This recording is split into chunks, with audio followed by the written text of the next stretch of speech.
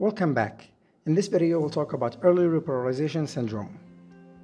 We'll talk about the definition, the symptoms, the causes, and of course the treatment. It was previously known as benign early repolarization, and it was thought to be some normal condition that occurs in patients randomly and has no increased risk. But recent studies suggested that it has increased risk of cardiac arrhythmias, especially ventricular types, and sudden cardiac death. In the ECG, you'll see a characteristic elevation of the ST segment that occurs at the beginning of the ST segment, which is at the end of the QRS complex. This is known as the J point. It's also known as the J point notching. We don't know the exact cause of this syndrome, but we know that it has something to do with electrolyte disturbances and ion channels. So think of anything that would increase or decrease potassium, calcium, and other ions. Most of these patients are completely asymptomatic and they don't show any symptoms, and the diagnosis is often made incidentally. They would come complaining of some epigastric or chest pain.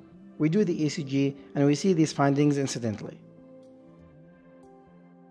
For most of these patients, especially healthy ones, we don't need to give the patient anything.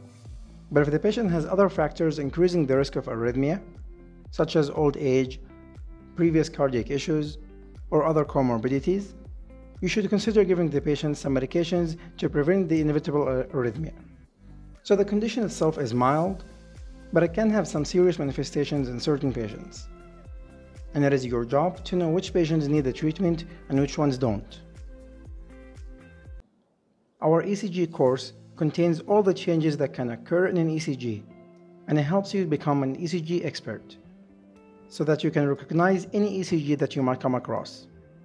The course contains everything that might affect an ECG, all the symptoms, the causes, and of course the treatments.